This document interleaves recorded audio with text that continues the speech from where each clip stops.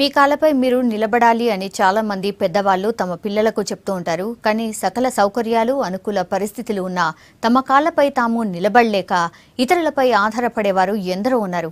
కానీ అలాంటి వాళ్ళకి భిన్నంగా రెండు కాళ్ళు కోల్పోయిన కులవృత్తిలో రాణిస్తున్నాడు ప్రకాష్.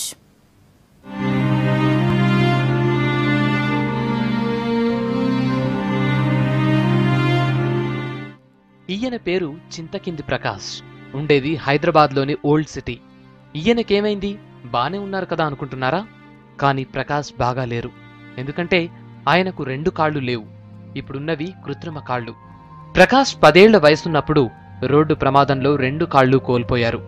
దీంతో పోలీస్ కావాలన్న తన కల ఇక నెరవేరదన్న బాధతో కుంగిపోయారు. ఆర్నెళ్ళు హాస్పిటల్ బెడ్పై ఉండి ఆ తర్వాత స్థానికుల సహకారంతో వీల్చైర్లో బడికి వెళ్ళి పదో తరగతి వరకు చదువుకున్నారు.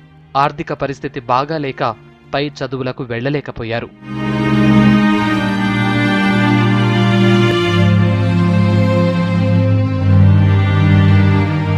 అన్నీ ఉన్నవాళ్ళే ఏం చెయ్యలేకపోతున్నారు కాళ్ళు లేని నేనేం చేయగలను అని నిరుత్సాహపడలేదు ప్రకాష్. పదో తరగతి పూర్తయ్యాక పదేళ్ళపాటు టెలిఫోన్ బూత్ నడిపించారు. ఆ తర్వాత సెల్ ఫోన్ల రాకతో అది మూతపడిపోయింది. అయినా బాధపడలేదు. ఆసక్తి ఉన్నవారికి అరవై దారులు కనిపిస్తాయన్నట్టు ఆయనకు మరో దారి కనిపించింది. ఇక తన కులవృత్తిలోనే రాణించాలని క్షౌర పని మొదలుపెట్టారు.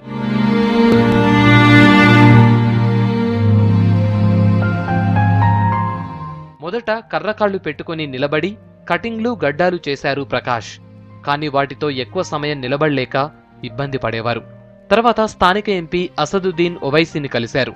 ఆయన ఎంపీ ఫండ్ నుంచి ఎనిమిది లక్షల డెబ్బై ఆరు వేల రూపాయలు ఇప్పించారు. ఆ డబ్బుతో ఇప్పుడున్న కృత్రిమ కాళ్ళు కొనుక్కున్నారు. ఆర్దో ఇండియా తయారు చేసిన ఈ కృత్రిమ కాళ్ళు నిలబడ్డానికి నడవటానికి అనువుగా ఉంటాయి. దీంతో ఎలాంటి ఇబ్బంది లేకుండా పని చేసుకుంటున్నారు. భార్య ఇద్దరు పిల్లలను పోషించుకుంటున్నారు.